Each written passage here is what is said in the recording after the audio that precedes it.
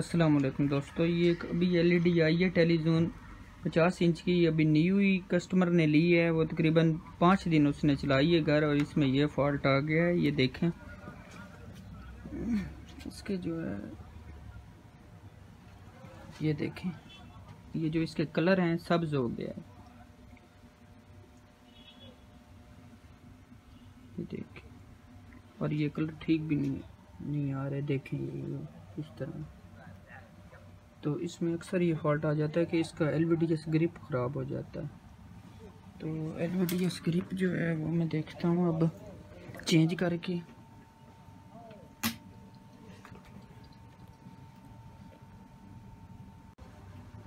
یہ دیکھیں۔ یہ اس کا ایل وی ڈی ایس ہے۔ یہ یہ اس میں پہلے لگا میں نکال دیتا ہوں۔ یہ ایل وی ڈی ایس جو ہے یہ میں لگا دیتا ہوں۔ تو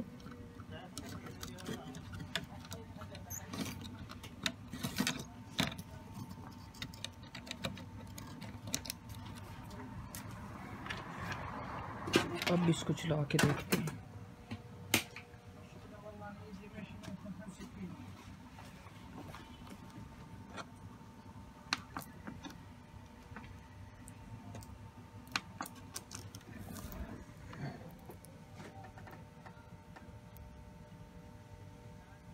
دیکھیں، اب اس کے کلر ٹھیک ہو گئے۔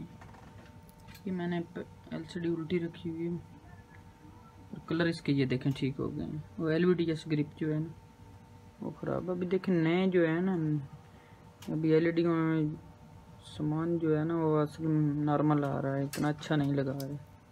دیکھیں نہیں ایل ایل ڈی میں پرابلم آ جاتی ہے۔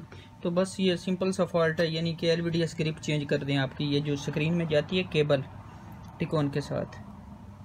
یہ یہ جو ہے، اب یہ جو یہ جو کیبل تھی، یہ خراب تھی اس کی اس کی، جس کی وجہ سے یہ جو کلر ہے نا، وہ اس طرح کے آ رہے تھے